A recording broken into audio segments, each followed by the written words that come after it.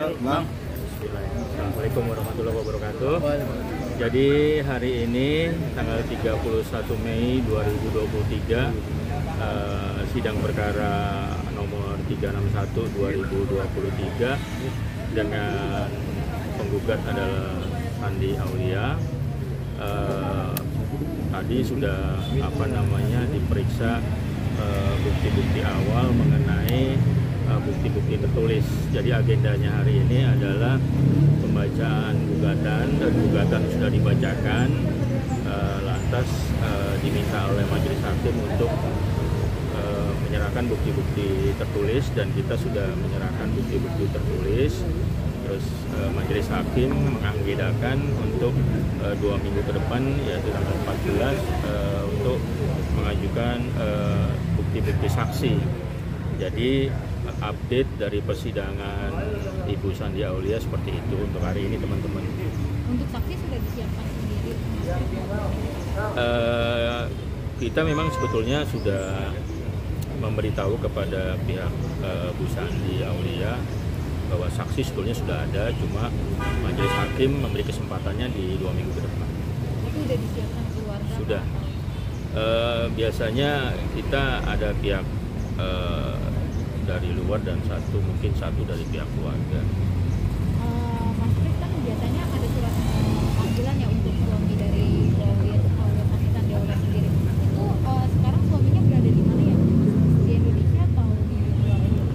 Kalau sepengetahuan saya sih masih ada di sini, cuma kan memang memang apa namanya sejak dari awal pihak dari tergugat memang tidak hadir ya.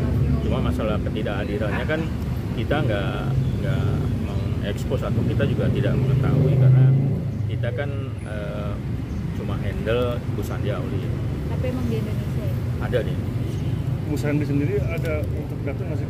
Bang, ada niat untuk datang nggak sih untuk Eh, cuma dilihat nanti aja pas eh, pas kesaksian pas kesaksian besok tanggal 14 mungkin didampingi oleh beliau saksinya mungkin juga tidak nanti tergantung besok nanti apa namanya ingin hadir apa enggak yang jelas kesaksian besok itu dua orang itu kan pasti melibatkan Bu Sandi Aulia ya ada kemungkinan hadir ada kemungkinan tidak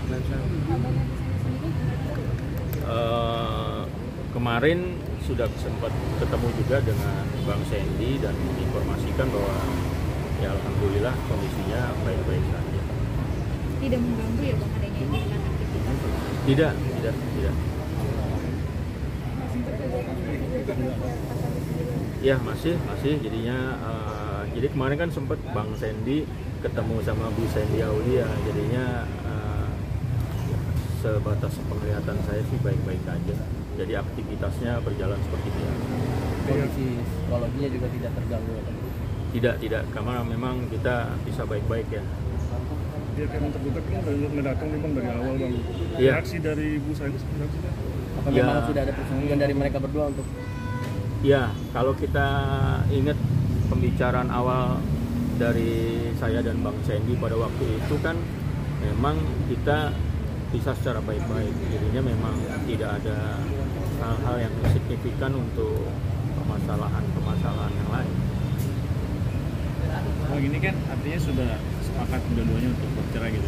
Ada kemungkinan untuk stake nggak sih Bang dari eh, pengadilan sendiri untuk Pengadilan. secepatnya memutuskan?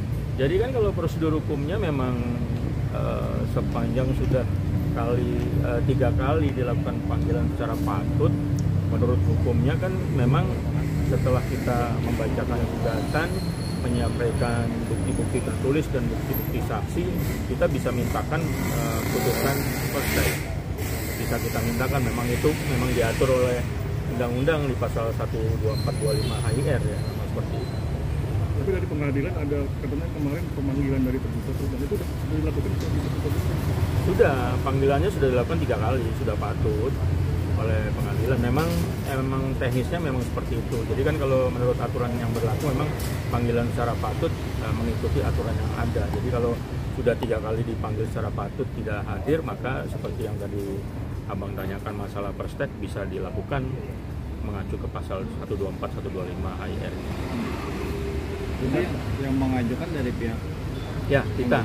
Jadi setelah kita membacakan surat gugat, kita menyampaikan bukti tertulis, nanti menyampaikan dua saksi.